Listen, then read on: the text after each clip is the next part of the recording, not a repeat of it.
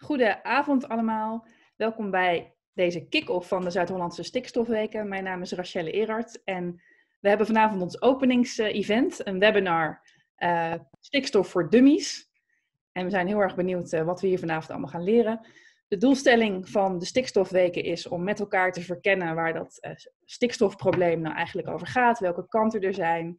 het met een heel open perspectief te benaderen omdat het allemaal best wel gevoelig ligt. Uh, en uh, we willen eigenlijk alle geluiden aan bod laten komen. En kijken waar we gezamenlijk, of waar er eventueel gezamenlijke oplossingen uh, liggen. onze spreker en inleider vandaag is Frank Verhoeven van het bureau Boerenverstand. een bekende ook in, de, in Zuid-Holland, waar hij on, onder andere de kringloopboeren in Midden-Delfland begeleidt. Frank, wat heb jij met stikstof? Vertel eens. Mijn hele carrière gaat al over stikstof. Soms dan denk ik ook wel eens, ik heb al meer dan uh, 15, misschien wel bijna 20 jaar uh, ook maar met het onderwerp bezig. Dus dat wordt inmiddels wel echt, uh, zoveel nooit kan ik je vertellen, maar het, het, heeft al vele dimensies gehad, dit, dit onderwerp. Dus, en het is ook een, van een nieuw probleem, denk ik hè? Nee, absoluut niet. Het is een van de problemen in de landbouw, vandaar dat, ja, dat het natuurlijk belangrijk is om daarover door te praten.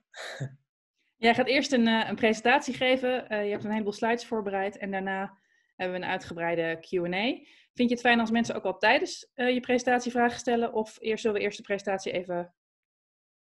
Ja, ik stel wel wat af en toe in de chat. En als je echt iets echt niet begrijpt, dat je inderdaad even aan de bel trekt. Dan, dan kan ik het nog beter uitleggen. Maar ik denk dat ik het wel aardig zo heb opgebouwd dat het goed te volgen is. hopelijk. Oké, okay, nou de ehm, presentatie zo, gaan we in ieder geval delen, dat uh, vraagt iemand. Dus, dat gaan we, dus de presentatie en de registratie worden gedeeld. Kun je het nu zien? Uh... Ja, hij staat goed. Oké, okay, dus uh, dummies. Laten we dan met de eerste vraag beginnen. Hoe dum? Um, ik heb al een paar plaatjes van internet gehaald van een stikstofkringlopen. allereerst bestaat onze lucht voor 78% uit stikstof. Um, maar dat is niet echt het probleem. 20% uit zuurstof en nog wat andere uh, dingen, uh, nog wat andere gassen. Um, wat eigenlijk het probleem is, is het uh, reactieve stikstof waar we het steeds over hebben.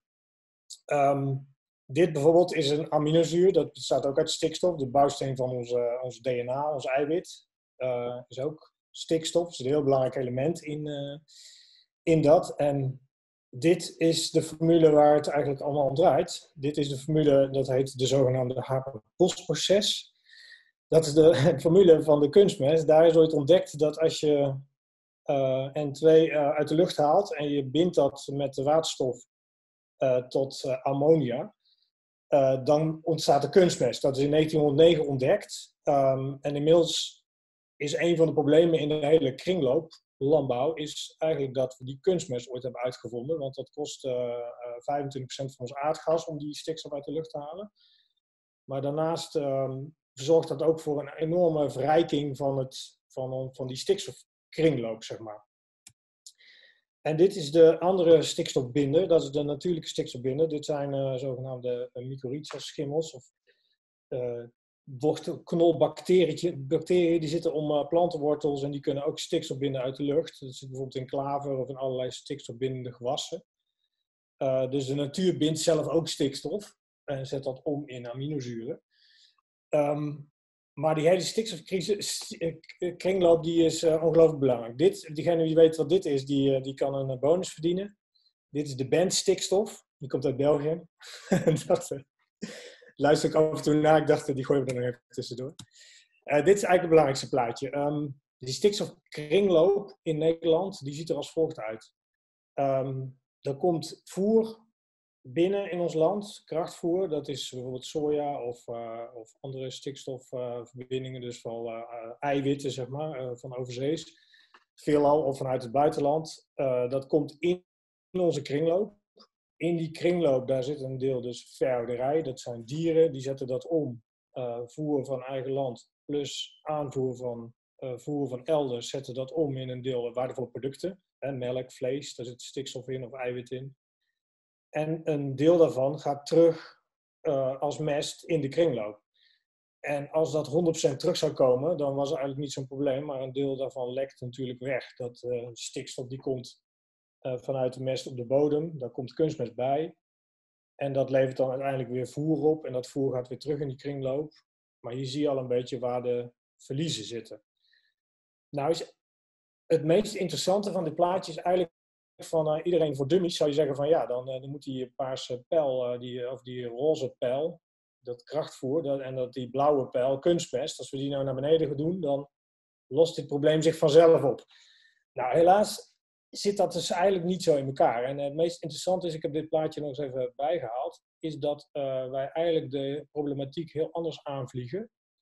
We zijn namelijk heel erg bezig om te kijken binnen die kringloop hoe we daar allerlei technische innovaties doorvoeren. Stallen, mestaanwending, um, aantal dieren, heel veel discussies over zeg maar. Uh, maar dit plaatje, dat verandert eigenlijk nauwelijks. En dat is best wel jammer, want daardoor ontstaat er nog steeds heel veel stikstof. Komt er eigenlijk nog steeds te veel stikstof uh, in het milieu. Nou, ik zal dit langzaam een beetje toe gaan lichten. Want we hebben het in verschillende vormen hebben het over stikstof. We hebben het over ammoniak, dat is dus de stikstof die naar de lucht, uh, de reactieve stikstof noemen we dat. Stikstofoxide, die komen eigenlijk vooral vanuit het verkeer. Die komen niet zozeer vanuit de landbouw, uh, maar vooral vanuit uh, verbrandingsmotoren. We hebben het over lachgas, dat is een heel klein onderdeel van de stikstof, maar dat is een broeikasgas.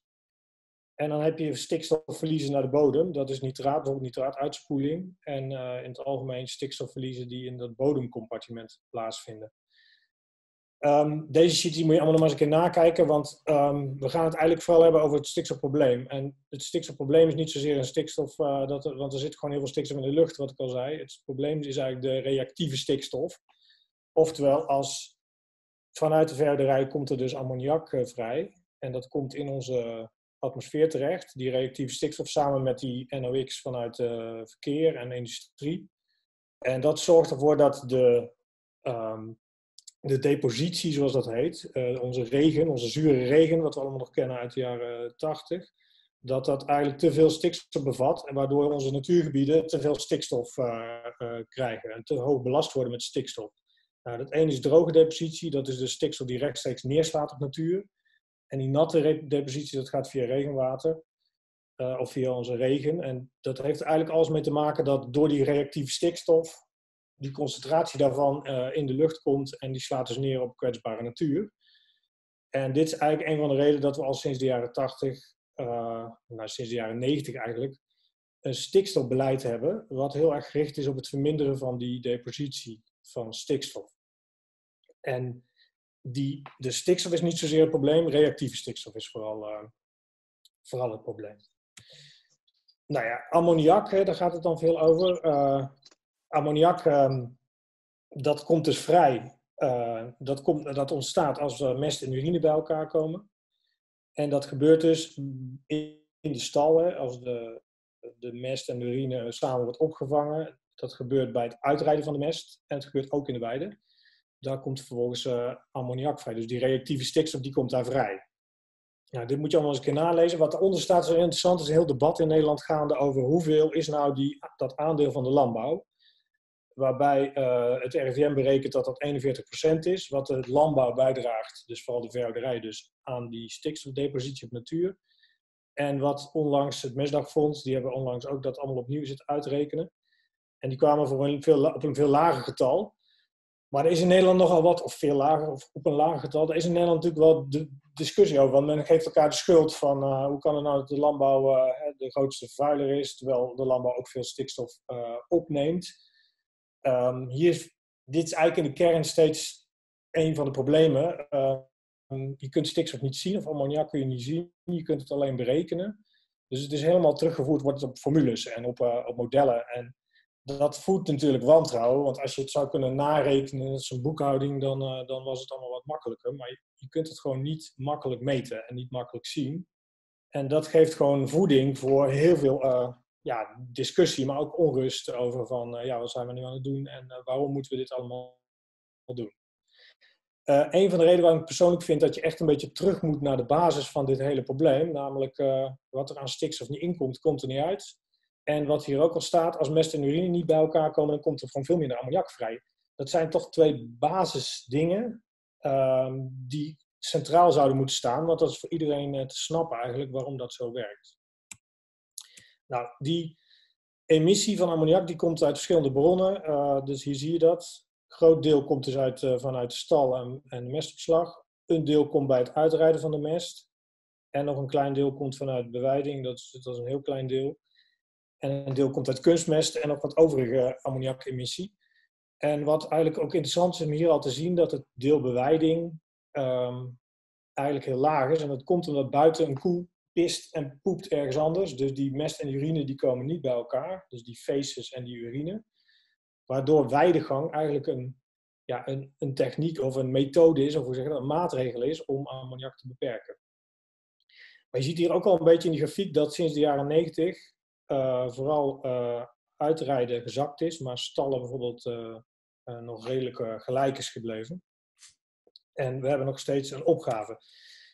Uh, dit is hetzelfde idee, maar dan uh, onderverdeeld in sectoren. Uh, daar zie je dat de welke sectoren de meeste van invloed zijn op die ammoniakemissie. daarbij heeft de rundverderij toch wel meer dan de helft van de problemen. Dus de melkverderij, de, alles met koeien te maken heeft. vaak hebben we een aandeel pluimvee, schapen, geiten. Nou ja, dit zijn de aandelen, zeg maar. Nou, en dan kun je het nog ruimtelijk bekijken. Waar zijn dan de grootste problemen?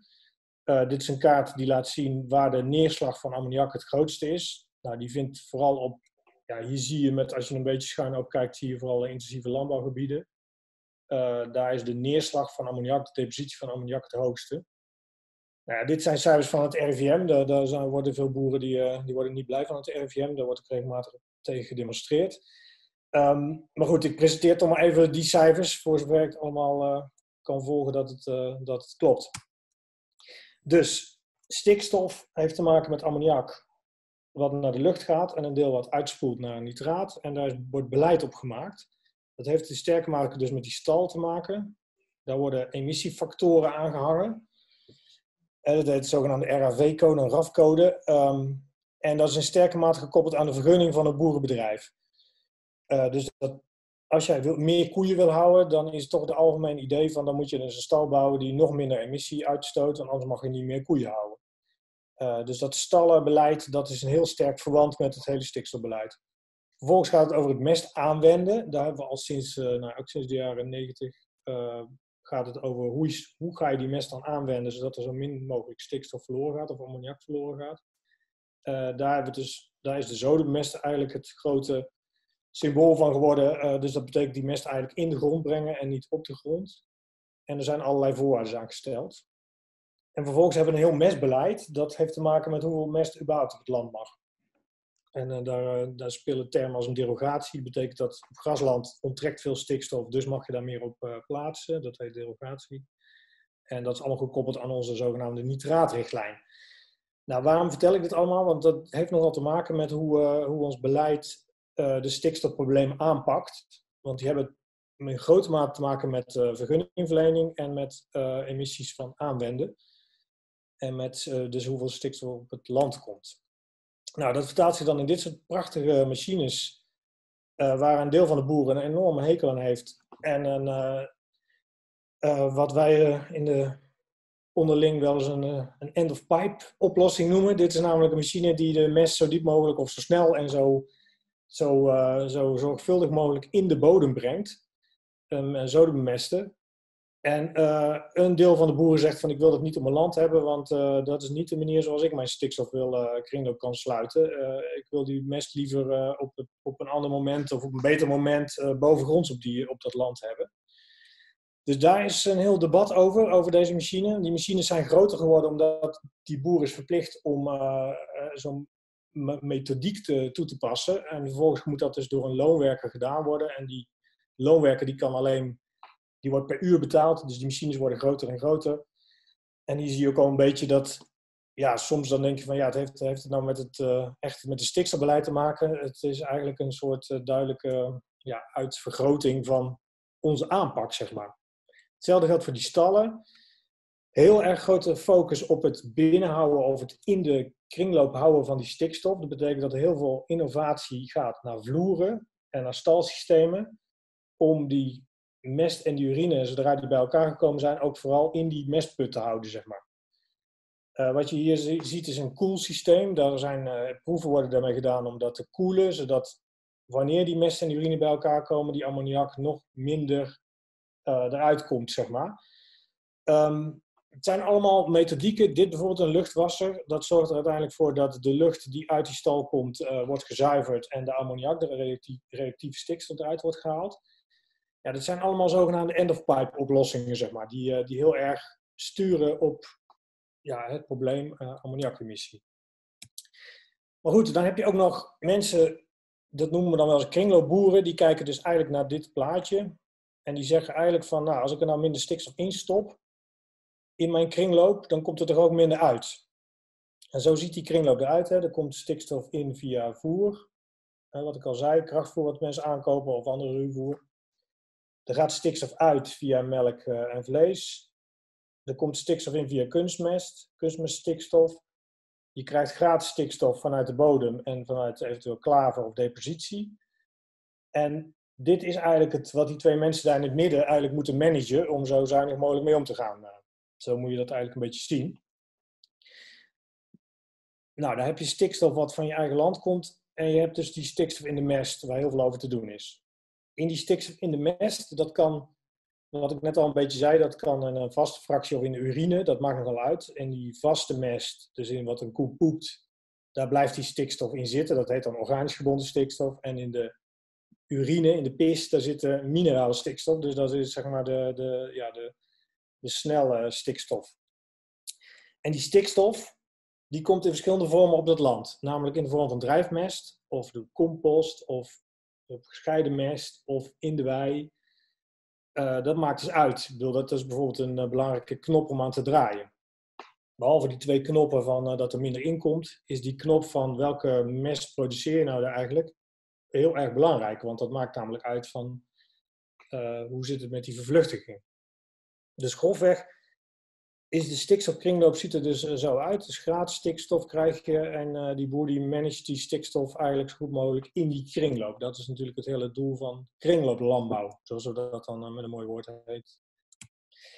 En wat we eigenlijk willen zijn zo min mogelijk aankopen, namelijk zo min mogelijk stikstof in het systeem en we proberen eigenlijk ook om de route van die stikstof ook te sturen. Dus we zouden eigenlijk idealiter zien dat die stikstof ook niet bij elkaar komt. Dus dat die stikstof, die mest en urine uit elkaar blijven.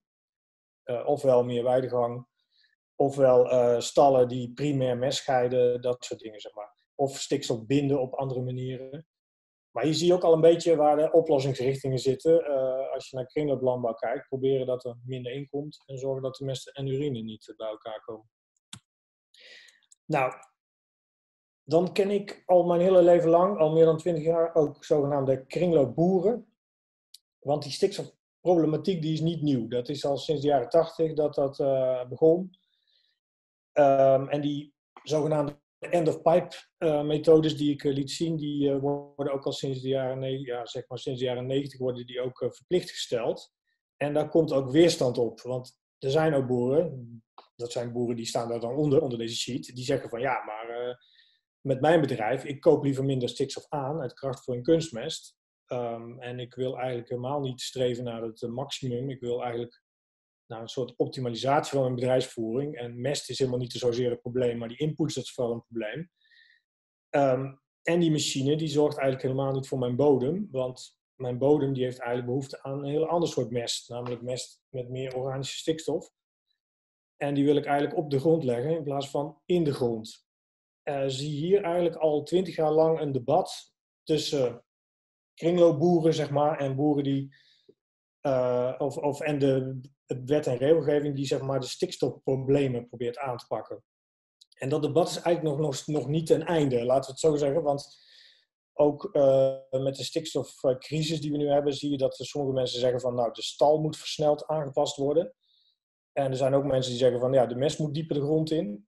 Um, maar er zijn ook mensen zoals ik die zeggen van ja, maar uh, dat, dat plaatje, wat ik hier liet zien, um, dit plaatje, als die uh, paarse pijl niet uh, vermindert, die hoeveelheid krachtvoer en die, die pijl van die kunstmest, dan gaat dat hele plaatje niet veranderen. Oftewel, dan kun je wel end of pipe beweren die stikstof in die kringloop te houden, maar daar ga je niet de problemen mee oplossen. Dus een groep mensen, en daar hoor ik dan uh, zelf ook bij, maar daar hoort bijvoorbeeld Eresman ook bij. En ik denk uh, enkele van hier aanwezig ook, die zeggen van laten we nou ons focussen op de input van stikstof.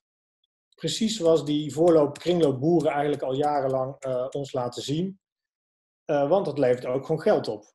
Dus als je er minder stikstof in stopt in de vorm van kunstmest en krachtvoer, dan levert het je ook geld, uiteindelijk kostenbesparing op, want je hoeft dat niet aan te kopen.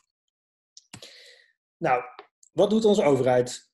Um, dit zijn allemaal wetten en regels die op een of andere manier met stikstof te maken hebben, of met fosfaat of met koolstof, maar in ieder geval ingrijpen op die kringloop. En uh, dit laat ik ook altijd zien als ik uh, iets voor het ministerie moet presenteren. Dan zeg ik altijd van die twee mensen in het midden, die weten eigenlijk niet waar ze naartoe moeten.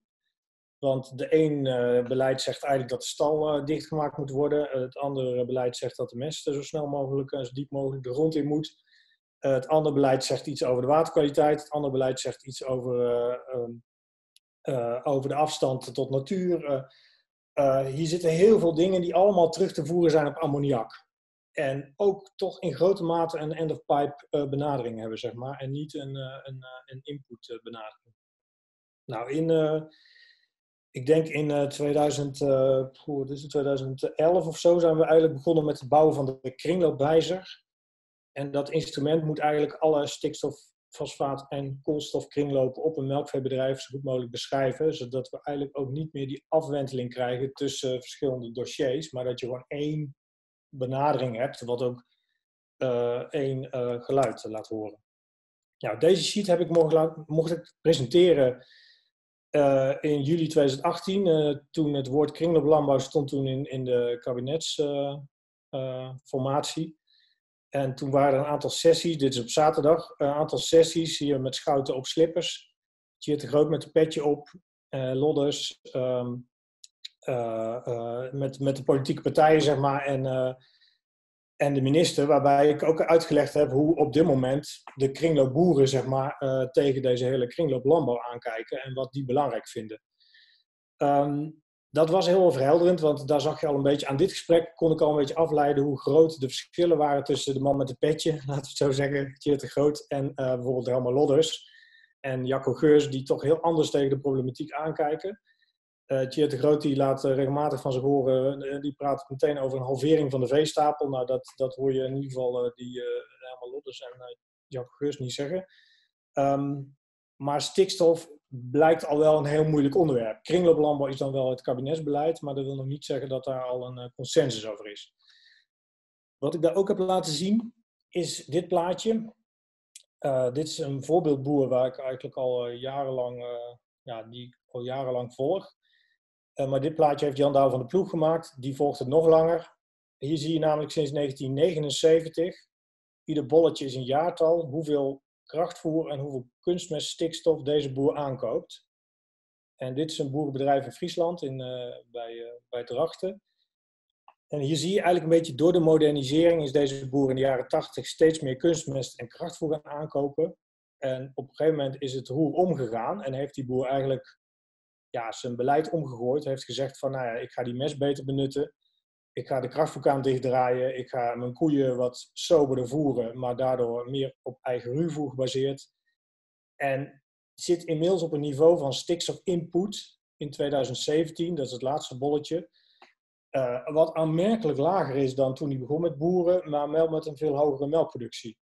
Uh, hij had in 1979 had hij al 800.000 liter melk, maar hij produceert nu 1,2 miljoen liter melk met veel en veel minder input.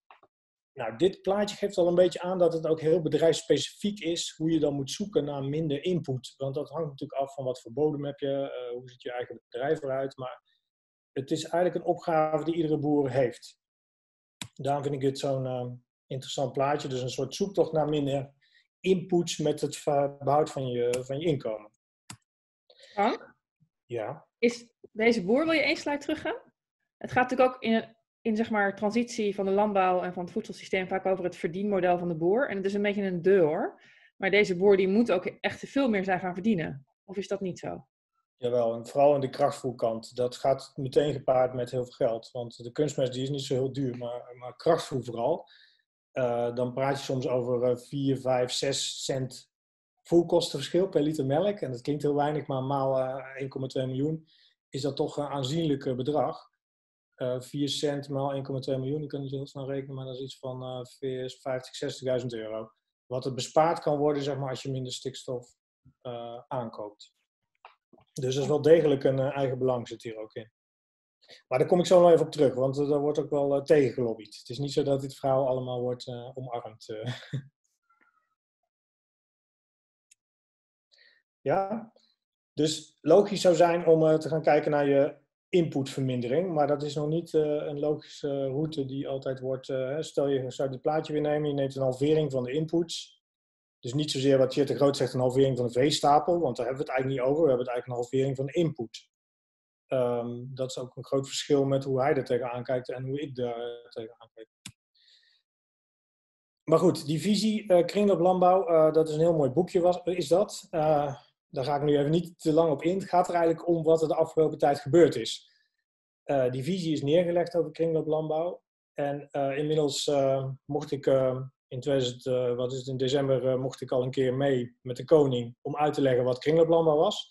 Toen merkte ik al een beetje, en daarom heb ik dit plaatje erin gestopt, merkte ik ook al een beetje van ja, de zoektocht. Want ehm, het ministerie wilde naar een kringloopboer toe. En toen zei ik al, er is niet één kringloopboer, want dat is nou juist het bijzondere van kringlooplandbouw. Hè. Er zijn verschillende manieren, het gaat om... ja, dat kon niet, we moesten naar één boer toe met, met de koning. Dus toen zijn we naar Erik Smalen geweest. En Erik Smaal is eigenlijk een boer, daar valt er niet zoveel te zien.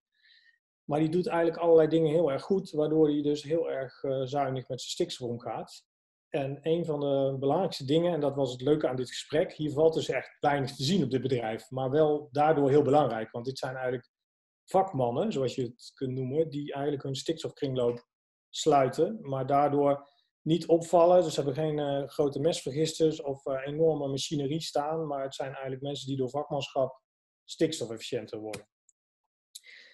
Dat, uh, uh, die, dat gesprek met die koning, dat heeft dit opgeleverd. Want ik liep langs de minister, want ik was natuurlijk niet zozeer geïnteresseerd in de koning, maar vooral in onze minister van Landbouw. Um, waarbij ik tegen haar zei van, wat doen we nou eigenlijk met die kringloopboeren? Want die zijn al jaren bezig met kringlooplandbouw en je hebt nou een mooie visie.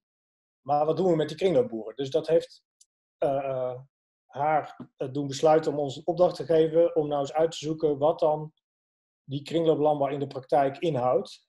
En dat hebben Jan-Willem uh, Eersman en ik opgepakt. En we hebben daar een rapport van gemaakt en daar hebben we eigenlijk in opgeschreven. Die kringlooplandbouw in de praktijk, die boeren zeg maar, die gebruiken hun eigen resources heel efficiënt. Oftewel, die stellen hun eigen resources boven andere resources. Uh, ofwel hun eigen bodem centraal en een eigen voercentraal en een eigen input en een eigen omgevingscentraal. En dat optimaliseren ze. En dat is iets anders als een stal ergens op een industrieterrein waar alles wordt aangevoerd en alles wordt afgevoerd. Want dat is niet eigen resources, dat is andermans resources en dat efficiënt benutten. Dus dit gaat wel degelijk over het benutten van ja, eigen of lokale resources. Uh, dat rapport is ook best wel, uh, nou ja, dat is uh, goed gevallen bij het ministerie, laten we het zo zeggen. Um, en daarin uh, hebben we ook gezegd van het gaat eigenlijk om boeren verleiden om stappen te zetten naar resource efficiency. Dus naar een hogere mate van eigen stikstofgebruik. En een van de indicatoren die we daar uh, bijvoorbeeld in de melkveehouderij voor hebben is hoeveel stikstof van eigen land, oftewel eiwit van eigen land. Hier zie je bedrijven bij dezelfde intensiteit, dus dezelfde kilogram productiemelk dus per hectare. Zijn er dus bedrijven die halen slechts 40% van hun stikstof van eigen land. Maar er zijn ook bedrijven bij die uh, met beter vakmanschap en door minder input 80% van de hoeveelheid stikstof van hun eigen land halen. En nou is het dus interessant om te kijken van ja, hoe krijg je nou die onderste groep naar boven toe? Want uh, die kengetallen die, ja, die, die rollen uit, uh, uit die minerale boekhoudingen. En daar zien we gewoon grote verschillen. Nou, niet alleen eiwit van eigen land, dat zien we eigenlijk ook in de eiwitgehaltes in de rantsoenen van koeien. Uh, hier zie je de... Ik ga te snel. Wat is een mineralenboekhouding? Daarmee kun je zeg maar, bijhouden hoeveel stikstof en fosfaat en koolstof er in je bedrijf rondgaat. Dus dat heet in de melkveehouderij dat de kringloopwijzer. Uh, maar de mineralenbalans, zeg maar, of een mineralenboekhouding, die, uh, uh, die worden ook in andere sectoren bijgehouden. Nou, uit die minerale boekhouding, hè, daar rollen meer cijfers uit. Dus bijvoorbeeld hoeveel eiwit er in, het rantsoen van de, van de veestapel zit. Dat zie je hier. Dan zie je enorme verschillen. En wat eigenlijk die boeren vaak wordt voorgehouden, van als je meer eiwit in je rantsoen stopt, dan gaat de productie van je koeien omhoog. Dus je ziet hier op de y-as de hoeveelheid melk die er uit de koeien komt, of uit de koe komt. En op de x-as zie je dan de input van stikstof in die rantsoenen. En er zit een enorme scattering uh, aan puntenwolken. En daar zit ook een deel van de oplossing natuurlijk. Dus als boeren minder input, dus minder eiwit in dat rantsoen dan die koe stoppen, dan komt er ook minder uit. En um, dat is de laatste jaren eigenlijk niet zo goed meer gelukt. En daarom neem ik dit plaatje altijd als voorbeeld.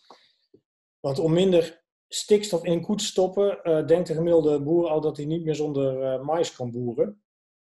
En dat denken boeren ook die op grond zitten die eigenlijk helemaal niet zo geschikt is voor maisland. Want mais bevat weinig stikstof en gras bevat veel stikstof. En een van de manieren waar de sector gestuurd wordt op minder stikstof is het ureumgetal. En het ureumgetal wordt gemeten in de melk. Dat is dus een overschot aan stikstof in het bloed. En dat wordt een afspiegeling daarvan uh, meet je in de melk. Dat gaat, kan ik ook een hele college over geven, maar dat doe ik maar even niet. Maar dat leidt zeg maar tot, uh, tot sturen op één indicator. En dat is altijd heel gevaarlijk. Als je één indicator uit die hele kringloop neemt, alleen ureum, dan stuur je feitelijk op um, één aspect van kringlooplandbouw, wat eigenlijk de verkeerde kant op kan gaan. Met andere woorden, uh, nu denken heel veel boeren dat ze niet meer zonder mais kunnen boeren. Terwijl, omdat het grasland steeds minder stikstof bevat, mais eigenlijk minder vanzelfsprekend wordt. En mais niet in alle gevallen het meest gunstig is. En dan komen we hier bij een soort kern van uh, mijn werk en mijn, uh, nou ja, laten we ook maar zeggen, frustratie. Die stikstof rantsoenen, of die, die rantsoenen van die koeien, die worden allemaal berekend door, nou ja, vaak door voerleveranciers. die, de voer, die krachtvoer verkopen. En die maken die stikstofberekeningen steeds ingewikkelder. Ik heb vroeger nog ooit geleerd hoe je, dan, hoe je zo'n rantsoenberekening kunt doen. Er zijn boeren die kunnen dat op een sigarendoos. Maar die worden steeds geavanceerder en die worden steeds mystieker in mijn beleving. En daarmee wordt eigenlijk een soort gepretendeerd dat die koe stikstofefficiënter wordt. Maar in werkelijkheid gebeurt dat niet, want in werkelijkheid wordt het voor die boer complexer. En wordt er niet echt meer gestuurd op minder input van stikstof, maar juist uh, ja, op allerlei vage kengetallen. Dus zie je een van mijn frustraties. En dat moet eigenlijk weer simpeler. En wanneer was dat simpel? Dat was ten tijde van de mineralenbalans. Die stuurde eigenlijk op een hele simpele manier naar kringlooplandbouw. Die keek eigenlijk wat komt er in het bedrijf aan stikstof. Dat zie je hier in die blauwe vakjes. En wat gaat eruit aan melk en aan, uh, aan mest eventueel. En wat blijft er over? Uh, dat heet overschot, minerale balans. En wat nu wel heel grappig is, dat uh, Remkes, die heeft in zijn laatste rapport genoemd dat we eigenlijk weer terug moeten naar die zogenaamde afrekenbare stoffenbalans. En dan hebben we het over dit plaatje. Dat betekent eigenlijk dat, dat de stikstofproblematiek weer simpeler moet worden. Die moet eigenlijk weer gaan over de stikstofinput. En wat er binnen in die kringloop gebeurt, dat zou eigenlijk minder belangrijk moeten zijn. En helaas is dat uh, best wel belangrijk, wat daar binnen gebeurt. Hè? Die stallen, die mestaanwending, wat ik vertelde, dat is allemaal heel belangrijk. Maar tegelijkertijd is dat blauwe vakje niet minder geworden, die aanvoer. En uh, daarmee stuurden we niet op minder stikstofoverschot of minder stikstofoutput. Um, dat is eigenlijk een heel gunstig teken, want um, we kunnen zeggen van Remkes wat hij wil, maar wat we willen, maar Remkes heeft wel weer even de vinger op de zere plek gelegd. Eigenlijk precies dat grote plaatje wat ik schets. Als er niet minder stikstof in ons systeem komt, in het landbouw, dan gaat de stikstof toch wel ergens verloren. Dus die end-of-pipe techniek die werkt, uh, maar tot, uh, ja, die werkt eigenlijk niet. Het gaat vooral om dat er minder stikstof inkomt. Hier ga ik even doorheen. Um, nou, even resumerend. Ammoniakemissie is de belangrijkste uh, reactieve stikstof. Zeg maar, ons stikstofprobleem wordt veroorzaakt een deel dus door stallen, een deel bij uitrijden van de mest en een deel door de kunstmest. En de oplossingsrichting die ik nu net heb geschetst, dat gaat eigenlijk over minder stikstof in het systeem. Oftewel die totale oppervlakte van die grafiek verkleinen. En minder stal, oftewel minder, meer weidegang of minder, en dus minder mest uitrijden. Of primair die mest gaan scheiden daar zit een heel belangrijk deel van de oplossing in. En het is maar de vraag of minder dieren per se leidt tot het verminderen van deze grafiek. Want minder dieren betekent ook weer dat die dieren gevoed gaan worden met meer krachtvoer. Want als je minder dieren mag houden, wettelijk, dan ga je de dieren gewoon tot het uiterste opvoeren om die meer melk te laten geven. Dus dat gaat dan weer gepaard met meer krachtvoer. Dus deze grafiek is heel interessant, want als we daar nog stappen willen maken, want die, zijn, die moeten nog gemaakt worden, dan zullen we toch uh, eigenlijk moeten sleutelen aan die input en we moeten sleutelen aan die, uh, die, die, die mestverdeling, zeg maar. Dus die weidegang en die, en die mestaanwending, of die mestscheiding. Dus er zitten hele belangrijke oplossingsrichtingen. Um, tot zover heel even de, uh, al het stikstof gebeuren.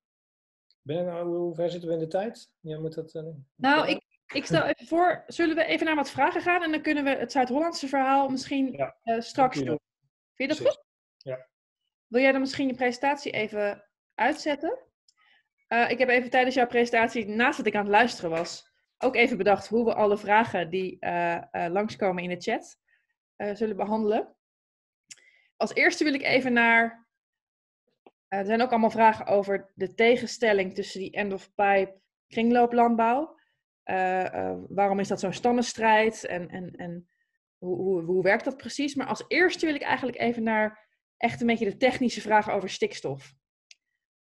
Patrick vraagt bijvoorbeeld, is NOx geen probleem? Waarom is de akkerbouw geen probleem?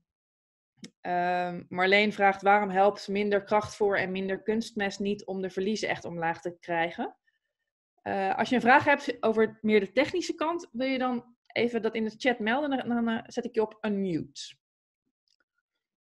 Maar wil jij eerst deze vragen die ik net uh, al stelde? Misschien nou, eerst, waarom is akkerbouw geen probleem? Akkerbouw is natuurlijk wel een probleem omdat akkerbouw ook mest uitrijdt. Dus die hebben net zo goed, dragen die bij aan het deel van de NH3-uitstoot. en NOx zou dan alleen gaan over de diesel die de akkerbouw verstookt. Uh, maar dat is in principe niet, heeft de akkerbouw dan, net zoals de verderij, heeft niet zozeer een NOx-probleem. Dat is toch een verkeersprobleem, zeg maar. Uh, dat komt vooral vanuit het verkeer. Maar ammoniak, dat komt dus vrij bij stallen en bij aanwending van mest vooral. En bij aanwending van mest heeft de akkerbouw natuurlijk net zo goed een, een, een NH3-probleem. maar daar speelt dat natuurlijk minder, omdat dat ja, nogal naar de verderij gekeken wordt, zeg maar.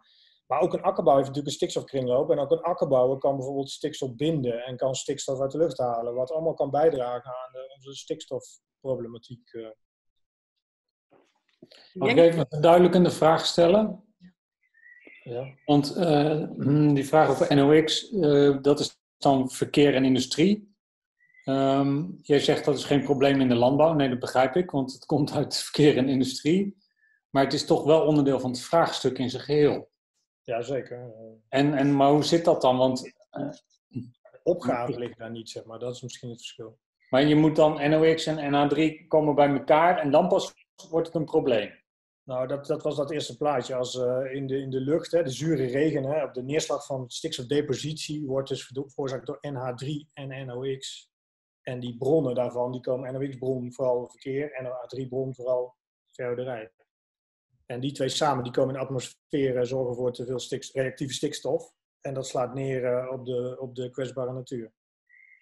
Maar dus ook NOx eh, vanuit verkeer en industrie is onderdeel van het probleem, die uitstoot. Zeker. En, en ja. de debatten, en die, die gaan er vrij fel aan toe. Debatten gaan natuurlijk over hoeveel procent is wie waar verantwoordelijk voor. En wat laatst dus allemaal in het nieuws is geweest met dat mesdagfonds, ging met name over wij vinden als sector dat we minder percentueel minder verantwoordelijk zijn dan ons wordt toegerekend. Nou, dat bleek dus niet helemaal eh, waar te zijn. Het is wel wat minder, maar niet zoveel minder. Oké. Okay. Um, ik zie een vraag. Even kijken hoor. Joost, ik ga jou even unmuten. Wil jij jouw vraag even stellen? Nee, ja. Even kijken, ik had een aantal vragen gesteld. Welke vraag bedoel je? Ja, Um, die van de voedergewassen bijvoorbeeld? Exact, en die verhouding. Ja, ik vroeg me af, want je, je zei net dat uh, een aantal, dus volgens mij, als ik het goed begrijp, um, koeien hebben stikstof nodig om eiwitten aan te kunnen maken, dus om vlees te kunnen produceren. Um, en ze eten dan gras, omdat daar veel stikstof in zit. Maar zijn er ook gewassen waar nog meer stikstof in zit, zit die ook de stikstofoxide uit de lucht kunnen binden? Ja, die zijn er klaar voor, geloof ik.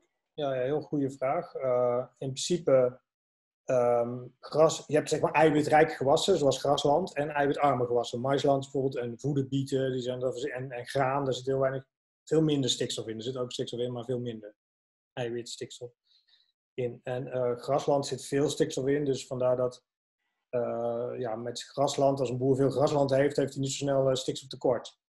Um, maar naarmate dus meer maisland in dat bouwplan komt, krijg je dus eerder een tekort aan stikstof wat die koe nodig heeft. Um, en vlinderbloemigen, zoals uh, klavers en uh, luzerne, die kunnen stikstof binden. Uh, en dat doen ze dus via die wortelknolbacteriën. Die, die kunnen dus stikstof uit de lucht halen en daar vastleggen in stikstof die zeg maar, dan weer in het gewas komt. En uh, een van de dingen ook die je zou kunnen stimuleren is dat een boer meer stikstof uit de lucht haalt. Door bijvoorbeeld die gewassen te. Daar, zit vaak, daar, daar wordt nu ook over nagedacht om bijvoorbeeld uh, in het kader van uh, de GLB-steun, om vlinderbloemige gewassen extra steun te geven ten opzichte van niet vlinderbloemige gewassen. Erten zijn ook vlinderbloemige gewassen. dus dat zijn zo'n zo, zo rijtje van vlinderbloemige gewassen, zeg maar, die stikstof binnen. Het zijn vooral vlinderbloemige gewassen die goed zijn met stikstof opnemen ja, die kunnen stikstof uh, uit de lucht halen. Ja.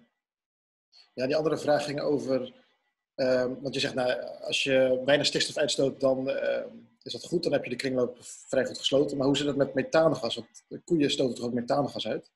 Ja, methaan is NH, uh, wat is het? N, N, NH, NH4.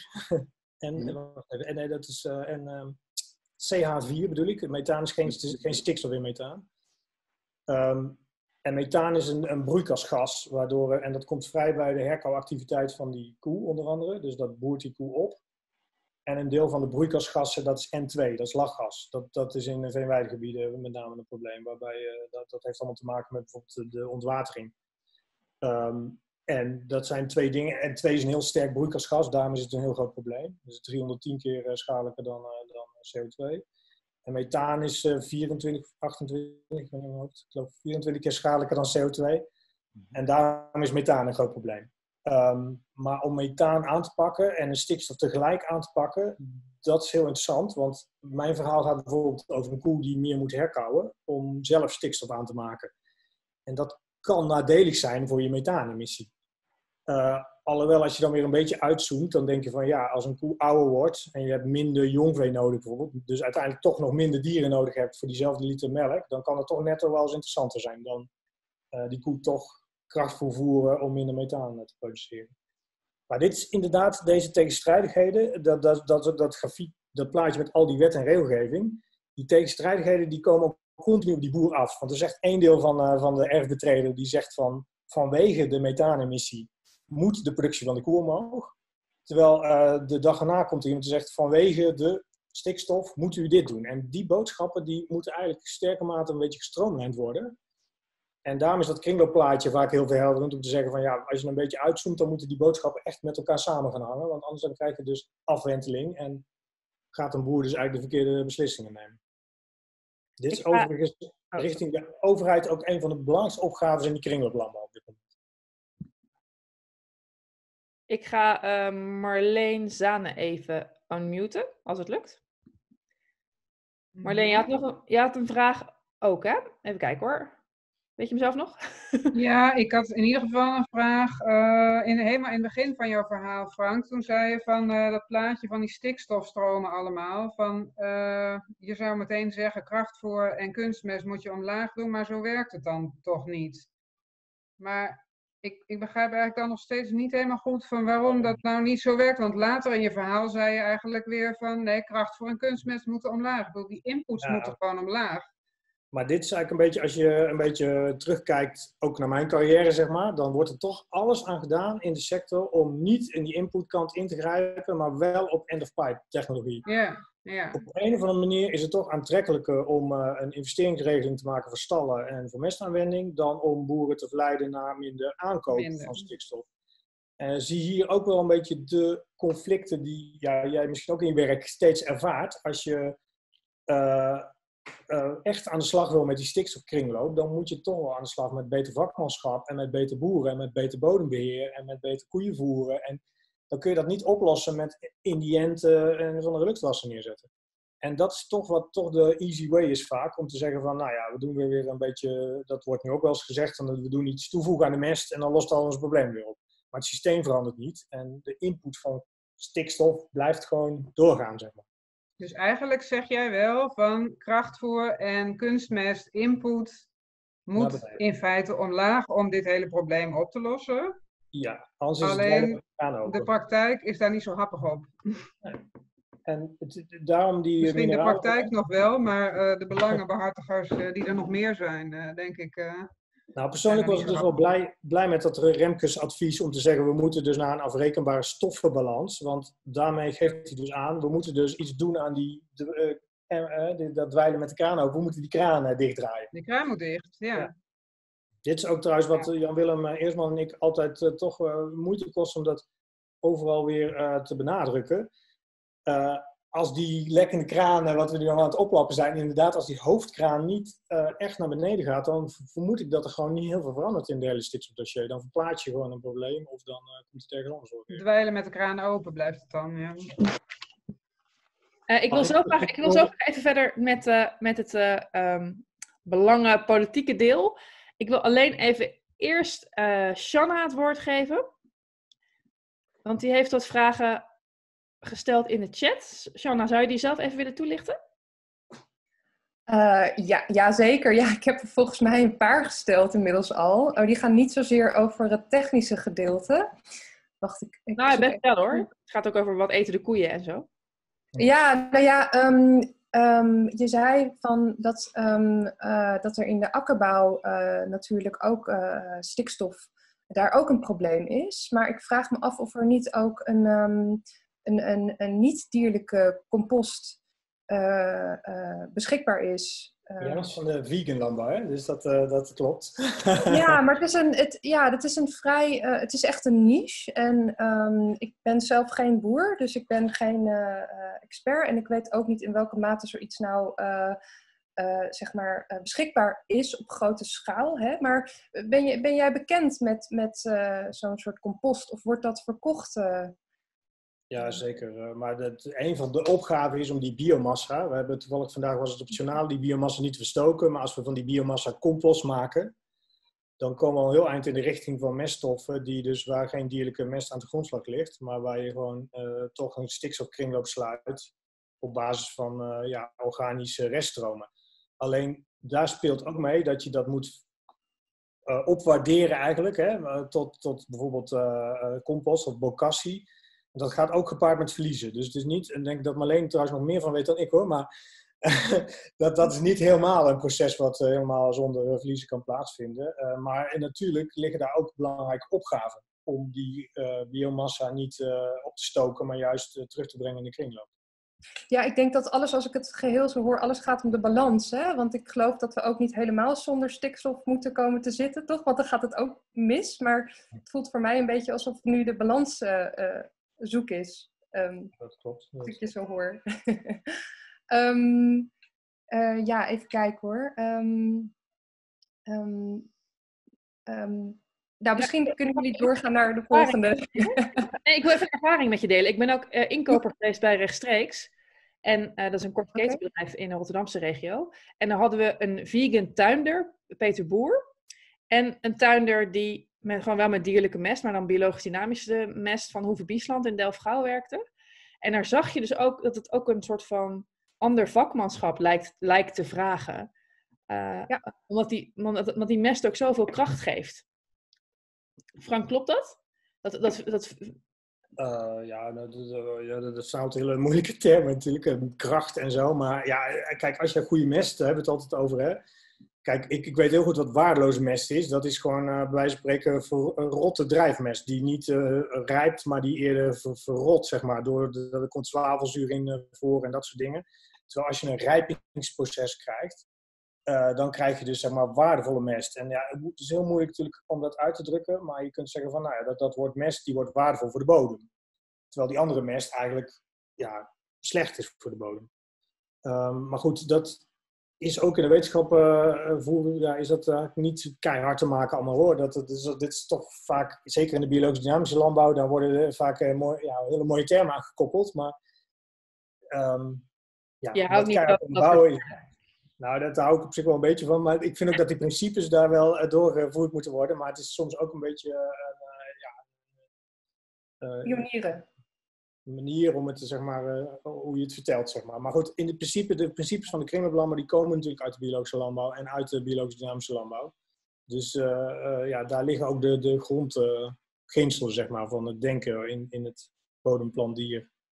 Ja, maar ik wil even naar, naar de stammenstrijd, hè? Dat was ook mijn vraag van... ehm, als je het hebt over die end-of-pipe oplossingen, zoals jij ze noemt, versus de kringlooplandbouw. Paul zei er net ook nog iets interessants over, dus wellicht dat, dat hij zo ook even in beeld wil komen. Maar hoe liggen nou de verschillen tussen kringlooplandbouw en eh, bio-BD? Eh, nou, BD zou je ze- zou ja, BD heeft ook, kan ook met koeien werken, hè, of met dieren. Dus niet helemaal zonder, dus geen vegan. Eh, maar BD werkt met een aantal principes waarbij ze zo, ja, nog minder inputs gebruiken. En waarbij ze bijvoorbeeld de natuurlijke processen en de, en de kosmos gebruiken om, om een kringloop te optimaliseren. En het verschil met BD en biologisch is biologisch voldoet aan de eco-standaarden, zeg maar. Geen kunstmest, geen, ehm, en alleen biologisch krachtvoer, zeg maar. En BD gaat verder. Die, die kijken dus veel meer naar de natuurlijke processen. Dan mag de koe ook niet ontroerend worden, dat soort dingen. En het verschil met kringlooplandbouw dan, tussen die twee en kringlooplandbouw? Nou, kringlooplandbouw, kijk, hoe dan ook is kringlooplandbouw gebaseerd op biologische landbouw en, en het nadenken over het sluiten van kringlopen, wat al heel ver teruggaat. En waar de grondslagen liggen gewoon bij mensen die ooit, ja, dit hebben ook in de biologische landbouw natuurlijk hebben gepromoot. Eh, alleen nu eh, wil je naar een systeem toe, ja, je kunt het, we moeten dat nu moderniseren, zeg maar. Dus we kunnen misschien met bepaalde technologieën ook eh kringlopen sluiten en... eh, we kunnen zeg maar, uh, ja, het niet, niet, we hoeven niet uh, met koelhorens te gaan werken zoals de BD-landbouw doet. Wij spreken, we kunnen ook op, op andere manieren uh, aan kringlooplandbouw werken. Maar goed, dit is, dit, hier zit ook een, een stukje um, markt in. Hè? Biologische landbouw is bijvoorbeeld een heel duidelijk marktsegment. Mensen die dat kopen, die weten gegarandeerd dat er geen kunstmest, geen chemische bestrijdingsmiddelen, geen chemische kunstmest gebruikt is.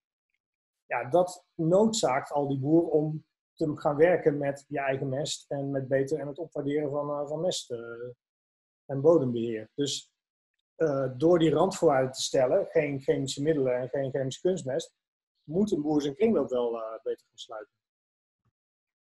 Ik ga even Paul unmuten, want die is interessante dingen aan het zeggen in de chat. Paul, kom er eens in. Lukt dit? Ja. Hallo, ja, daar kom je. Ja, ik heb het in de chat al gezegd, dus ik weet niet wat je nog. Nee, moet... wil je het verhalen? Dan staat het namelijk ook op, op, uh, op beeld. oh, oké. Okay.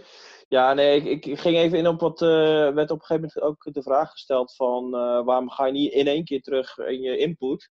Maar dat kost ook even tijd. de bodem moet ook wennen, zeg maar. Die is lui geworden door input van, van kunstmest. Dus die moet weer even leren hoe het is om in balans te zijn en om op, op een langzame manier stikstof en fosfaat vrij te geven. En het geldt ook wel voor de koe. Maar goed, daar weet Frank veel meer van, van Nick, dan ik. Dat die ook aan een ander rantsoen moet wennen. En dat dat soms ook betekent dat je over moet schakelen op een andere koe. Als je bijvoorbeeld de verhouding tussen eiwit en energie gaat veranderen. Ja, dat is een hele mooie toevoeging. Want als je dus dat denken in minder input centraal stelt, dan kom je bij dit soort oplossingen. Dan denk je in een andere stal, denk je aan een andere koe, denk je aan misschien aan een, misschien een ander bouwplan. Uh, en dat gebeurt eigenlijk niet echt nu. Nu denken we toch nog een beetje in die maximalisatie van, uh, van de onderdelen. En niet echt in kringlooplandbouw. En ik, heb, ik ben opgeleid met Jaap van Bruggem. En die, die zei altijd al, de koe, het meest belangrijke van die koe is dat hij waardevolle mest produceert. En die productie, dat zien we wel, zeg maar, wat dat wordt. En hij was altijd verbaasd dat die koe in een heel arm, stikstofarm dieet nog steeds uh, meer dan 8000 liter kon geven. En die voerde rantsoenen aan koeien met 13,5% eiwit. Terwijl gangbaar zit op 16 plus nog wel meer eiwit uh, in het rantsoen. Dus uh, dat die koe ook zelf stikstof kan aanmaken en zelf zijn stikstof kan recyclen, dat kunnen we nog veel en veel meer benutten. Goed, daar kan ik ook een college over geven, maar dat laat ik dat maar. Uh, ik, wil, ik, wil, even, dankjewel Paul. Ik wil even Patrick het woord geven over. Um, uh, de, dus, ja, we zijn wat vragen aan het stellen over de stammenstrijd. Wil jij daar wat meer over vragen? Ja, ik ben in toenemende mate uh, verbaasd over dat end-of-pipe focus in het hele verhaal al 30, 40 jaar. En. Um, het lijkt wel een soort van geloofsartikel geworden of zo. Uh, weet je wel, ik ben protestant, jij bent katholiek of moslim en uh, dat is gewoon iets anders en uh, we worden het nooit eens. En we blijven wat we zijn. dat, dat, dat vind ik heel ingewikkeld aan, want het, het, het is toch gewoon, je kan het zien, je kan het berekenen, het is gewoon biologie, het is natuurkunde. er zit, zit Waarom? er zit iets anders achter. Het heeft hetzelfde te maken met zuinig rijden. Jij bent volgens mij veel eerder geneigd om een auto te kopen die, uh, die uh, zuinig is, dan dat je je rijgedrag gaat aanpassen. En uh, hier zit ook een hele belangrijke essentie natuurlijk van. Eigenlijk gaat die kringlooplandbouw ervan uit dat je je manier van boeren gaat veranderen. En dat je niet meer met een schepje extra krachtvoer die koe gaat voeren, maar dat je jezelf beter voer gaat winnen en naar de bodem gaat kijken, et cetera, et cetera. Dus er moet een bepaalde mate van gedragsverandering plaatsvinden. En dat is natuurlijk het allermoeilijkste bij, bij mensen in het algemeen, uh, maar bij boeren in het bijzonder. Het is um, eigenlijk gewoon een ander vak. Nou, het is eigenlijk vakmanschap wat, uh, ja, wat opnieuw denk ik weer uh, aangeleerd moet worden. Ja, er zijn hier mensen misschien aanwezig die, die daar ook een, een mening over hebben. Maar ik, ik denk dat het in, in belangrijke mate te maken heeft met dat het, is niet de, makkelijkste weg. Daarom gebeurt het niet, zeg maar. Dus je moet toch wel meer moeite gaan doen voor dit hele gebeuren. En als je dan toch denkt of vindt dat dat niet gewaardeerd wordt of niet uh, beloond wordt of dat de samenleving daar niks mee eh, heeft, dan zeg je van nou, uh, ik ga gewoon door op de oude manier. En eigenlijk, en dat, daar komt het tweede deel zo meteen op terug. We proberen nu met allerlei prikkels, proberen we natuurlijk boeren te verleiden naar een andere manier van boeren. En um, dat doen we eigenlijk vooral ook omdat we dat anders werken willen belonen. En, en niet willen blijven hangen in, uh, ja, in die end of pipe. Frank, ja, um, de, de, erfbetreders die geld verdienen aan, uh, ja, hoe zeg je dat, aan al die, al die inputs. Uh, wil je daar wat over zeggen? En daarnaast heb ik een vraag, hoe belangrijk is cultuur van boeren onderling hierin? Weet je wel, misschien is het ook wel heel stoer om zo'n hele grote machine te hebben rijden. Ja, dat idee heb ik ook altijd. Hoe groter, hoe, hoe stoerder. En dus is het cultuur heel belangrijk. En dus is inderdaad, ja, kijk, het is op een of andere manier stoerder om een of andere huge uh, zodemest te ontwikkelen dan om uh, dit verhaal te vertellen. En, maar ja, dat, dat denk ik ook altijd een beetje dat, uh, ja, dat, dat dat ook een van de. Het is makkelijk om dit mensen iets te verkopen waardoor ze milieuvriendelijker worden dan om dus het gedrag te veranderen. Maar ja, dat is dus een, een beetje op diezelfde leesgestoelte, denk ik. Ja, maar dat, dat ervaren wij in de duurzaamheidsbeweging ook. Van, van daar wil je ook dingen verkopen die dan duurzamer zijn, in plaats van wat eigenlijk duurzaam is, is niks kopen. Ja, en het is, niet, het is natuurlijk de mens niet vreemd. Ik, ik pak ook liever de auto dan dat ik heel moeilijk met de trein even moet komen, et cetera, et cetera. En ik ga, misschien ga ik dan ook voor een waterstofauto, in plaats van eh, dat, dat, dus dan ga ik mijn gedrag niet aanpassen, dan neem ik een waterstofauto. En dat is bij boeren misschien niet veel anders. Hè? En um, dus het is moeilijk, dit soort dingen. Maar goed, we komen zo nog even op terug, want er zitten wel dingen in die... Eh, Misschien is het wel leuk om nu even te schakelen naar het Kringloopboeren in Zuid-Holland verhaal in uh, Midden-Delfland. Want dan kan je hopelijk ook iets vertellen over die culturele verandering die je daar wellicht uh, observeert. Als een groep het samen gaat doen. Precies. Oké, okay, zal ik het zo doen? Lukt dat zo weer? Sure. Is het in beeld? Ja, gaat goed in Midden-Delfland heb ik eigenlijk al een jaar of twaalf uh, een groep kringloopboeren, zoals we dat dan noemen, um, in uh, ja, hartje centrum van Nederland, zou je bijna kunnen zeggen. Het doel is daar eigenlijk om dat gebied open te houden en om boeren daar, uh, boeren hebben daarin een belangrijke rol. Dus het doel van dit programma is toch vooral om, um, ja, om een vitale landbouw daar te houden. En de reden dat ik daar ooit ben terechtgekomen is een van die kringloopboeren die ik in het begin op dat uh, rijtje met koppen had staan. Uh, die boert daar, uh, Arnold van Adegum, en die zei eigenlijk van we moeten met die kringlooplandbouw aan de gang. Met andere woorden, die zei van als alle boeren nou leren hoe ze ook boeren met minder input, dan gaan ze en meer verdienen en dan zijn we beter voor het, voor het milieu. Dus die Arnold van Adegum, die kringloopboer, zeg maar, dat was de aanleiding dat we daar het project zijn gestart. En inmiddels doen bijna alle boeren daar mee. We hebben ook een jonge boerenprogramma en we hebben een aantal experimenten lopen. Uh, dit zijn dan die uh, kringloopboeren. Uh, die krijgen ieder jaar een, een jaarlijks feestje hebben we dan. En dan reiken we de zogenaamde kringloopcertificaten uit. Die kringloopcertificaten, dat doen we dus al sinds 2000, nou ja, 2008. Daar worden eigenlijk een aantal belangrijke kengetallen van die bedrijven gemeten. Hier zie je die. Ehm, eiwit van eigen land, dat is de stikstof van eigen land. Dat is de hoeveelheid stikstof die ze dus uh, ja, terug in de kringloop brengen in van hun eigen land. De hoeveelheid eiwit in hun rantsoenen. Fosfaat in het rantsoen, benutting van de veestapel in fosfaat. CO2 wordt ook uitgerekend in kilogram CO2 equivalent per kilogram melk. En dit zijn 14 bedrijven die dus al sinds 2008 meedoen.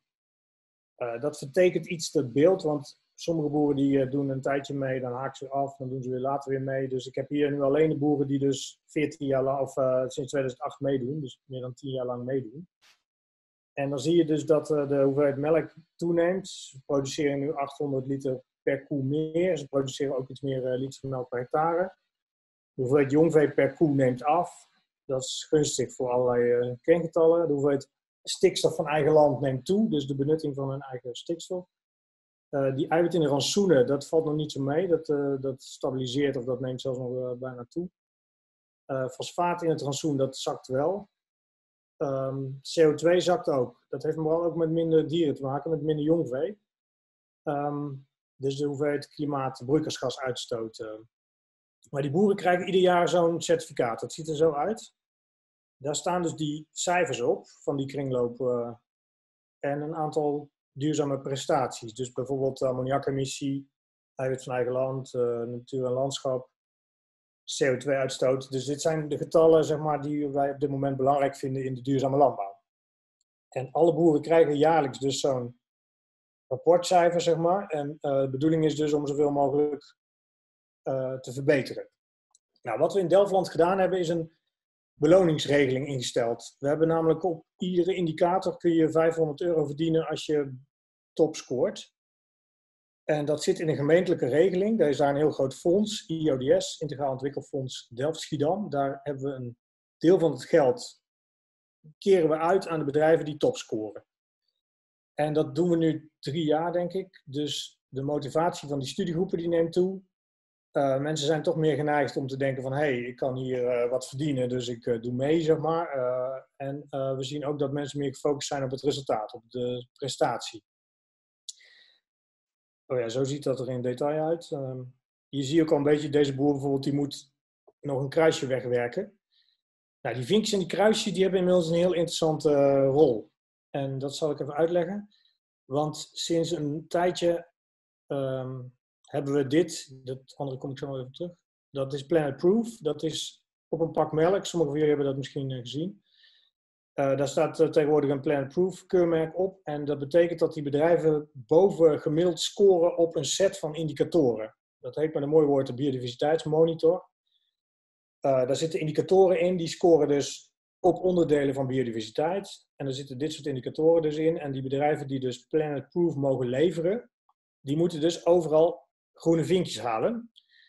En ik kan je vertellen dat in mijn carrière uh, dit werk al heel lang doe, maar nog nooit zo vaak gebeld ben door boeren van hoe kom ik van dat kruisje af. Want ik wil uh, Planet Proof melk leveren, want hier hangt niet een beetje een premie aan, hier hangt een enorme premie aan. En helaas kun je alleen dit leveren in bepaalde gebieden van Nederland, maar als jij in die Planet Proof melk mag leveren, dan kun je wel een paar duizend euro meer verdienen, zeg maar. Dus het gaat niet meer om een paar honderd euro, dat gaat echt wel om duizenden euro's. En dus willen bedrijven, in plaats van dat ze eerst misschien een beetje achterover gingen in de studiegroep, zijn ze nu nogal gefocust op hoe kom ik dan van dat kruisje af. En eigenlijk zijn we dan wel waar we moeten zijn, want ik kan eigenlijk niet zeggen dat klimaat minder belangrijk is dan ammoniak. Uh, eigenlijk zijn ze allemaal belangrijk. Uh, ik kan ook niet zeggen dat natuur en landschap minder belangrijk is dan blijft het grasland. Of het zijn allemaal onderdelen die, die minstens even belangrijk zijn. En daardoor eigenlijk met elkaar in evenwicht moeten zijn. Dus het gaat niet om uh, één groen vinkje, het gaat eigenlijk om een set van groene vinkjes. En precies daar staan we eigenlijk op dit moment in de discussie met de kringlooplandbouw. Want wat is dan kringlooplandbouw? Um, die boeren die daar integraal over alle aspecten van duurzaamheid goed scoren, die zou je eigenlijk moeten zeggen, dat zijn de echte kringloopboeren. Um, en inmiddels zijn we eigenlijk ook wel een beetje waar we moeten zijn, want we hebben um, daarmee met die kruisjes en die vinkjes een, een basis gelegd voor een beloningssysteem, want dat zijn bovenwettelijke prestaties. En als die vinkjes en die kruisjes maar goed staan, en we hebben de goede vinkjes en die kruisjes, kunnen we eigenlijk boeren verleiden om met een soort stapeling van beloningen uh, steeds meer te verdienen ook, als ze beter duurzaam scoren. Nou, dit model dat loopt uh, in, uh, in Delftland dus, maar het loopt ook in Drenthe, daar ziet het er zo uit. Daar hebben we dus met een aantal partijen een beloningsregeling ingesteld op afzonderlijke indicatoren. Als ik terugkijk in de carrière, dan zou ik zeggen van ja, je moet eigenlijk een, een verdubbelaar maken voor als je al die indicatoren haalt. Want, maar in Drenthe zeiden ze van ja, maar we moeten het voorzichtig aanpakken. We beginnen eerst met een premie per indicator. Maar goed, het werkt toch het beste als je al die indicatoren haalt. En je zou misschien kunnen zeggen, misschien uh, kun je 2500 euro verdienen uh, per, uh, per indicator. Zou je het misschien moeten verdubbelen of nog eens een keer 500 euro erbij moeten doen als je ze allemaal haalt. Maar hier zie je al een beetje dat um, opgaven, die maatschappelijke opgaven, als we die weten te vertalen naar een indicator, naar een KPI, en we zetten daar een beloning op, dan wordt de motivatie ook neemt toe om dan je indicator te gaan verbeteren. En wat nou, mensen die af en toe mijn Twitter lezen, die, uh, ik zeg bijvoorbeeld wel eens, waarom gaan we nu weer zoveel miljoen investeren in, in het aanpassen van die stallen? Waarom zetten we niet de weidegangpremie omhoog, zeg maar? Want als een koe meer naar buiten gaat, dan pist en poept hij ergens anders, dan komt er ook minder ammoniak. Dus we zouden ook op een hele boervriendelijke manier uh, die ammoniak of die stikstofprobleem aan kunnen pakken. Met andere woorden, door de beloning op de juiste manier te zetten of door boeren te, op andere manieren te bevoordelen die zeg maar, beter scoren op uh, dit soort indicatoren. Nou, dat, met die vinkjes en die kruisjes, dat begint langzaam uh, te werken, want je ziet dat steeds meer partijen dezelfde KPI's gebruiken. De Rabobank die heeft een rentekort, uh, rentekortingslening gemaakt, Planned Impact Lening. En waterschappen zijn her en in Nederland bezig om te kijken, kunnen we premies differentiëren. Maar ook het nieuwe gemeenschappelijk landbouwbeleid komt eraan. Daar zou je natuurlijk hetzelfde uh, principe kunnen, kunnen doorvoeren. En dan hebben we één. Nou ja, dit, even terug. Dit gaat dus eigenlijk over KPI's, zoals we dat noemen. Uh, dus, en uh, het idee is dus het liefst een set van KPI's, nooit één KPI. Precies wat ik zei over dat ureum. Als je daar één getal uithaalt of één kerngetal, dan gaat dat zeker weten mis. Dus je moet nooit één getal nemen, je moet altijd een set van getallen nemen. Want klimaat is minstens zo belangrijk als natuur en natuur is minstens zo belangrijk als stikstof, en et cetera, et cetera. Dus dat integrale is ongelooflijk uh, belangrijk. Maar wat ligt nu voor, en dat is eigenlijk wat ik richting afsluiting ga ik een beetje, um, is de zogenaamde stikstof-KPI. Want uh, de term afrekenbare stoffenbalans viel al, hè, wat Remkes dus noemt, die komt eigenlijk neer op een soort simpele berekening van wat voert een bedrijf aan en wat voert een bedrijf af. Dat ziet er dan zo uit. Het zou voor ieder landbouwbedrijf in Nederland kunnen gelden. Je voert namelijk iets aan aan stikstof en je voert stikstof af, ofwel in dierlijke producten of in plantaardige producten. En naarmate je dus de stikstofkringloop sluit, dan doe je het eigenlijk beter. Dus dan kun je dat belonen. Maar daar hoort dus een afstandsfactor bij. Want als ik niet, als ik uh, kunstmest uh, zou je zeg maar, dat heeft dus een hele zware factor, krijgt dat. Maar bijvoorbeeld mest van de buurman zou gunstig meegewogen moeten worden in dit hele verhaal. Want dat is natuurlijk positief ten opzichte van mest uit, uh, uit van Brabant naar Drenthe. Dus hier hoort een afstandsfactor bij. En dat geldt voor het voer en dat geldt voor, dat, uh, voor de kunstmest. Dus wat we eigenlijk willen is een herintroductie van die mineralenbalans, die stoffenbalans, waarbij er meer rekening wordt gehouden met de regionale aspecten van kringlooplandbouw. En waar je eigenlijk dus echt gaat kijken naar hoe, hoe stuur je nou die landbouw dus richting uh, een stikstof, sluit van de stikstofkringloop. Dus dit ligt voor, onder andere in dat rapport Remkes is daar nu naar verwezen, maar dit ligt nu ook bij het ministerie. En nou, het mooie nieuws is dat we hebben de kringloopwijzer uh, geüpdate een paar weken geleden. En daar rolt dan de zogenaamde mineralenbalans weer uit. De, de nieuwe versie van de kringloopwijzer is dit. Eh, dat is dus een instrument voor melkveehouders om dat uit te rekenen. En wat we daarin gedaan hebben, is die afrekenbare stoffenbalans van Remkes, die hebben we er al in gezet. Want dan zijn we de discussie alweer een stapje voor, zeg maar. En het mooie is, en dat zie je daar onderaan in deze afrekenbare stoffenbalans, ik, moet, ik ga het gewoon iedere keer herhalen, zie je dat dat bedrijfsoverschot aan stikstof uh, onderverdeeld dus wordt in ammoniak, overige emissie en bodem. En naar mijn mening moet de boer er alles aan doen om die totale bedrijfsoverschot naar beneden te krijgen. En kunnen we dan iets minder hard sturen op dat onderverdelen van ammoniak en bodem? Want in sommige gebieden kun je maar beter de stikstof niet in de bodem hebben, want dat zijn kwetsbare uitspoelingsgevoelige gebieden. Ehm, en in andere gebieden wil je misschien weer minder de lucht in hebben. Maar dat zijn, in mijn ogen gaat het nog steeds om dat totale overschot waar naar beneden moet. En dan pas om de onderverdeling van ammoniak. En niet andersom. En wat we de afgelopen tijd aan het doen zijn, is dat andersom. Dan gaat het eerst over ammoniak en dan pas over dat overschot. Maar dat werkt volgens mij niet. Het moet eerst gaan over dat overschot en dan pas over ammoniak. Dus dit is de meest actuele. Jullie zijn er helemaal bij vanavond. Want dit is eigenlijk wat we aan het doen zijn. Om te zorgen dat de melkvouderij in ieder geval weer aan de slag kan met die stikstofaanpak. Op een manier die beter past bij die kringlooplandbouw. Frank, ik heb twee vragen. Um, lost even wat je net zei, wat je, wat je nu schetst, eigenlijk lost dat ook dat probleem van al die verschillende uh, regels die op de boer inwerken op of nog niet? En nou, vraag twee is, kan je nog iets zeggen over de cultuur tussen de boeren in Midden-Delfland? Nou ja. Um, het eerste lost het natuurlijk niet meteen op, want de, wat dit vaak gebeurt is dat dit er overheen komt en niet dat er iets weggaat. Het is in Nederland vaak heel moeilijk om regels weg te halen en um, het heeft allemaal met juridische claims te maken en dat soort dingen. Uh, daar maak ik me ook wel een beetje zorgen over, want uh, het liefst heb je eigenlijk dat als er iets nieuws komt, dat er ook wat dingen weggaan. Uh, maar dat is vaak niet de realiteit. en dat zou bijvoorbeeld betekenen dat waarom zou een boer een stal moeten aanpassen als hij een heel laag stikstofoverschot heeft? Maar toch zie je dat die agenda van die stalaanpassing, die loopt eh, dwars hier doorheen. En dus dat, dat zie je gewoon in de praktijk dat al die agenda's niet matchen. Dus ik zou het ook heel fijn vinden als deze minister, en dat, daar hebben we ook al regelmatig op gewezen, ook die regelgeving een beetje gaat stroomlijnen, zodat dat ook dezelfde kant op gaat. Maar dat is echt nog geen gelopen race. En dat tweede, dat was uh, oh ja, die, die voorlopers.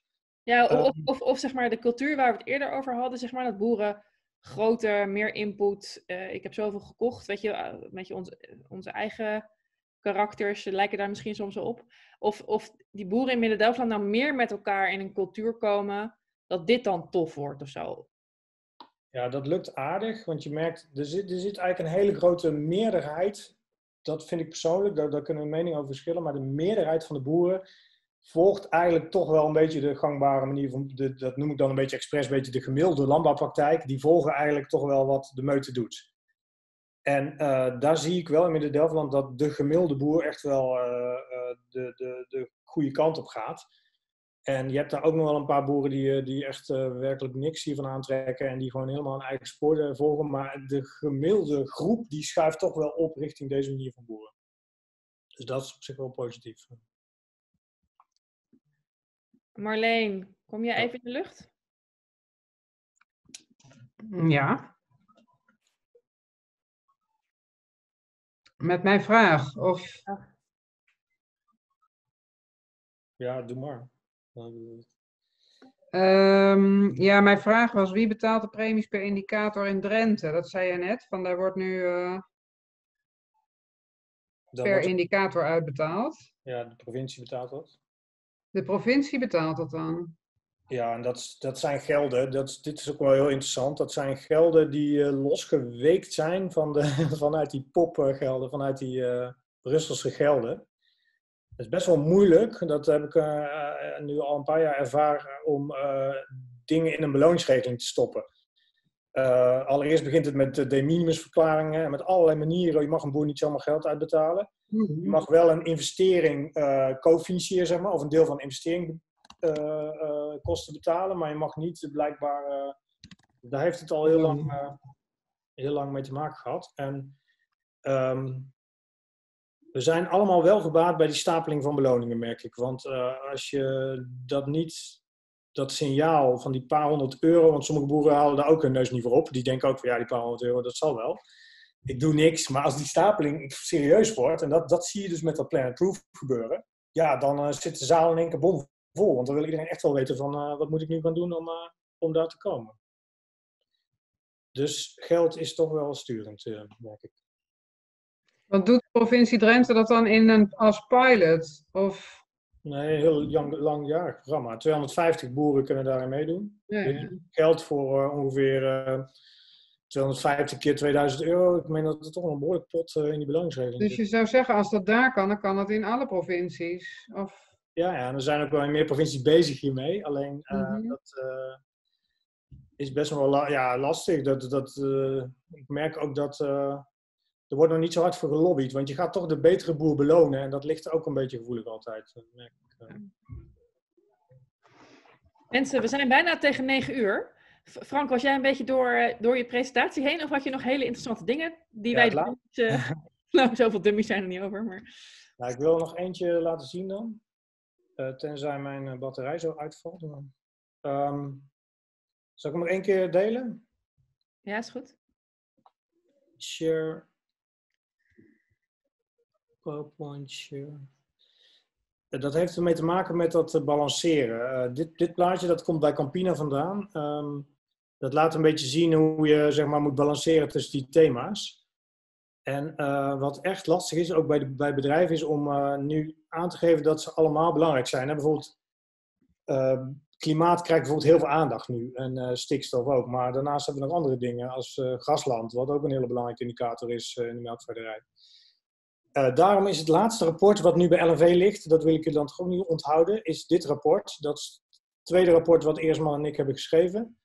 Dat gaat over die KPI-systematiek en hoe dat dan zou kunnen werken. En daar staat dit, dit schema in.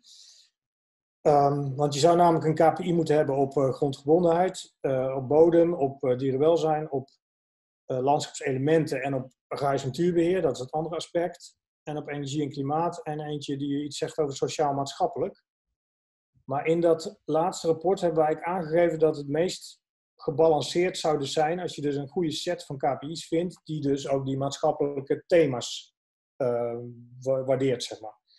En ehm, hoewel ik ook inzie dat dit een van de meest complexe dingen is, hè, ga sociaal-maatschappelijk maar eens goed waarderen, eh, is het denk ik wel het meest evenwichtig om ze wel eh, naast elkaar te houden. En het laatste wat dus nu bij LNV voor ligt, dat is dat rapport wat eronder staat, is eigenlijk dat ons voorstel is om die kringlooplandbouw in te vullen dus met zo'n integrale set van prestatieindicatoren.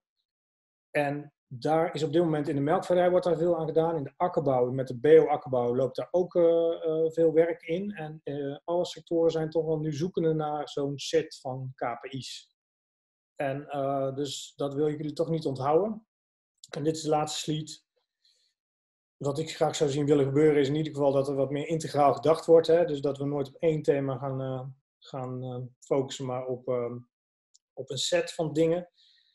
Dat de eenvo- eenvoudigheid weer wat terug moet. Oftewel, de principes moeten weer wat centraal komen te staan. Hè? Dus wat ik al zei, mest en urine moeten niet bij elkaar. wat er niet in komt, komt er niet uit, et cetera.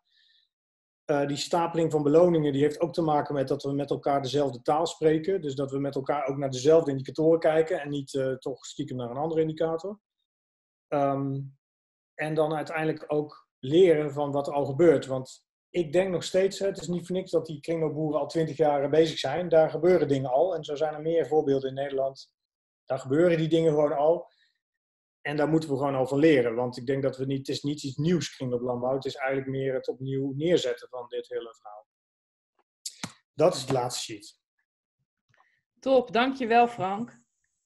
Ik heb echt veel geleerd. Ik voel me iets minder een dummy nu.